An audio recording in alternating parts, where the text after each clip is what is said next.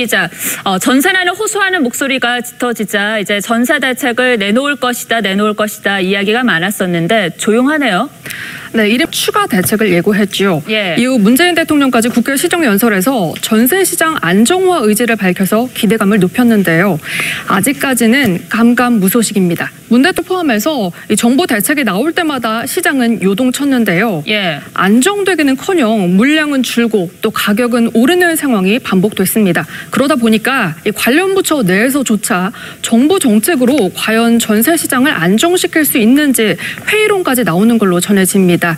이번 주 있었던 부동산 시장 점검 회의에서 나온 이 홍남기 부총리의 발언에서도 한층 신중 해진 기류가 감지됩니다. 이하인 무주택자가 시가 3억 원 이하 집에서 월세를 살면 750만 원까지 세액공제 혜택을 받을 수 있습니다. 그런데 이 기준을 완화해서 더 많이 돌려주겠다는 겁니다. 네. 공급 카드도 검토 중인데요. 현재 계획돼 있는 공공임대주택의 인허가 절차를 서둘러서 공급 시기를 1, 2년 앞당기거나 공공 분양 물량 일부를 임대로 돌려서 임대 공급을 늘리는 방식이 유력합니다. 22일 열린 기재부 국정감사에서 알 수는 없습니다만 관련 부처의 고민이 그만큼 크다고 볼 수 있는 대목입니다. 월세 세액공제 확대 이야기부터 나옵니다. 현재 연소득은 역부족이라는 평가가 많습니다. 예. 네, 임대주택 공급을 늘리는 방식은 최소 수년이 걸리고요. 가격 현실화와 재산세 감면 혜택 문제로 여론이 악화된 상황이기 때문에 정부가 진퇴양난에 빠진 모습입니다. 네, 대...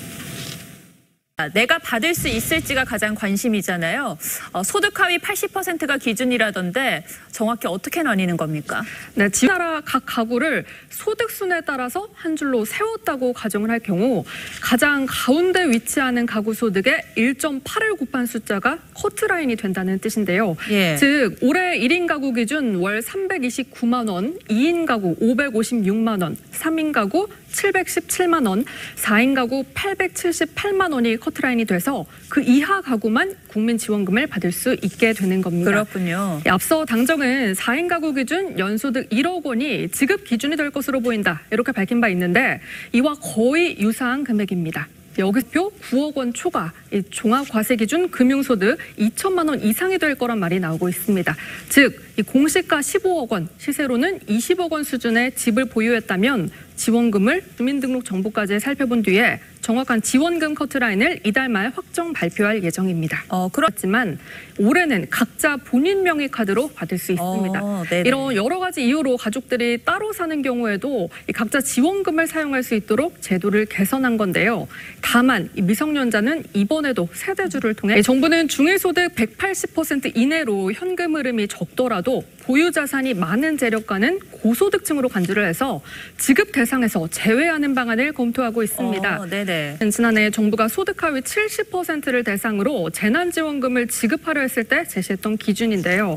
이번에는 하위 80%로 지난해보다 지급 범위가 좀 더 넓어졌고 최근 집값도 더 상승했음을 임 기자 우선 아파트의 분양 원가 공개는 이번이 처음입니까?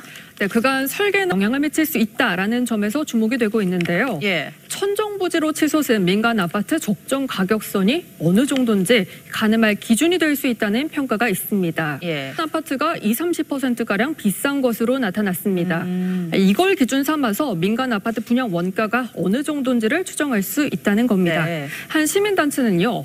사업비가 제대로 공개되지 않으면 제2의 대장 동 사태가 언제든 벌어질 수 있다면 이제부터 옵션 또 실내 구조까지 차이가 적지 않기 때문인데요. 근데요. 바로 이 때문에 건설업계에서는 민간과 공공 단순 비교하기에는 무리가 있다고 주장하고 있습니다. 가로 압박하는 게 맞냐는 의견도 있는데요.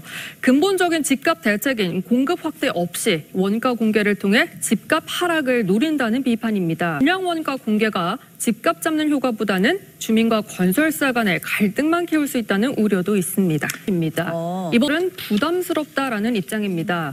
사실 원가 공개는 어찌 보면 기업 입장에서는 영업 기밀을 공개하라는 것과 마찬가지라는 겁니다. 그렇습니다.